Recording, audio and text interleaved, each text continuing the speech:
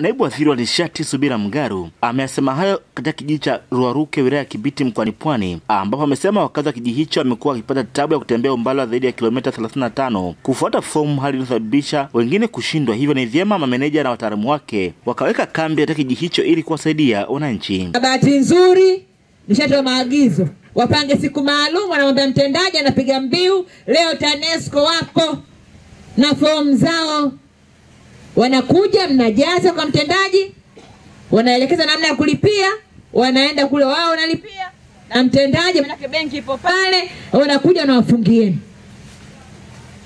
Haya ndio yalikuwa maelekezo maeneo mbalimbali yaliyokuwa mbali na maeneo haya, lakini tunashukuru. Aidha, naibu waziri amewatoa hofu wananchi kuwa serikali itamalizia vijiji vyote ambavyo bado havijafikiwa na huduma hiyo ya umeme. ambayo kazi ya tathmini imeanza. Kwa hiyo kazi yake katika kupenya kijiji kijiji cha Kilima. Kilima Tambwe. Itakamili itaanza mapema mwaka huu mpaka mwaka wa fedha. Itakaoishia ishirini na moja. Itakuwa kishapata umeme. Lakini sambamba na hilo, wilaya ya Kibiti mjiandae, maeneo ya Lungungu substation, ujenzi wa substation na njia ya kusafirisha umeme kutoka Stigo Seluu mpaka hapa ndio itakuwa imefikia hapo. Kwa hiyo kuna mradi mkubwa unakuja. Fursa hii kwa niaba ya wazee wangu Laruke kukuahidi kwamba miundombinu hii ya nguzo pamoja na umeme na nyaya zake tutahakikisha tutazilinda kwa nguvu zetu sisi sote.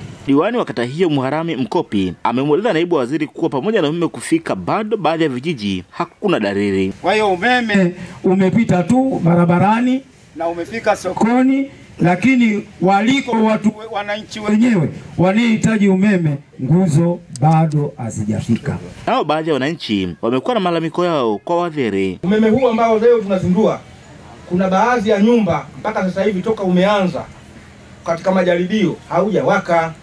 Kila tukiuliza tatizo hatulifahamu. Tumetangaziwa katika redio tutalipa shilingi ishirini na saba kwa ajili ya kuweka umeme nguzo ya umeme, lakini sasa watu wote wanashangaa, huwezi kulipa hizo shilingi ishirini na saba mpaka utoe shilingi arobaini.